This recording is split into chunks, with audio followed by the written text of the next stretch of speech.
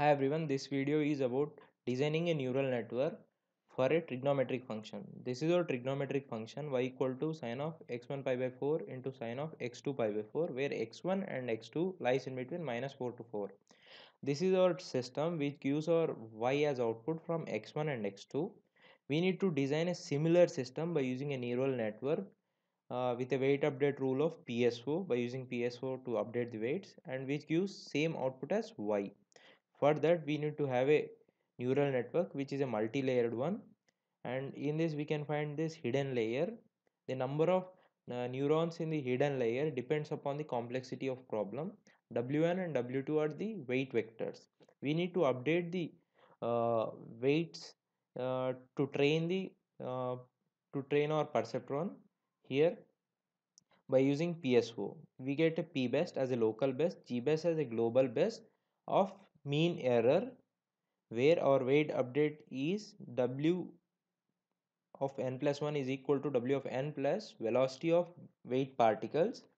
Here the velocity is updated as velocity plus c1 into rand into w minus pj p best plus c2 into rand into w g best minus p best c1 and c2 are chosen in such a way that their sum is equal to 3 this helps in a proper convergence of the problem and fast output. I solved this problem by using MATLAB. This is our MATLAB code.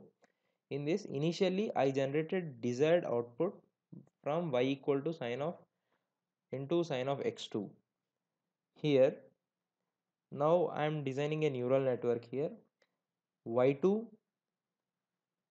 as a tan sigmoid uh, hidden layer as an activation function of tan sigmoid this is our tan sigmoid function and the output layer has the activation function of linearity.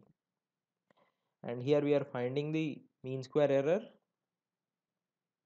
Then we are updating the weights by using PSO and this is how we are limiting the weights within 1 coming to the output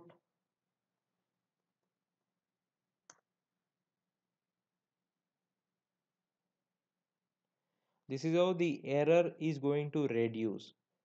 See error reduce uh, error reduces very quickly then it takes a uh, constant value and converges to a particular value.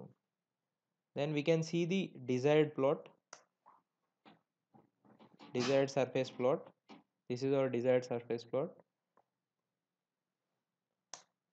This is the plot which we are getting by approximation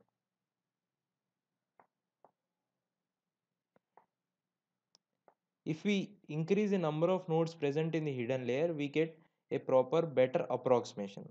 Thanks for watching.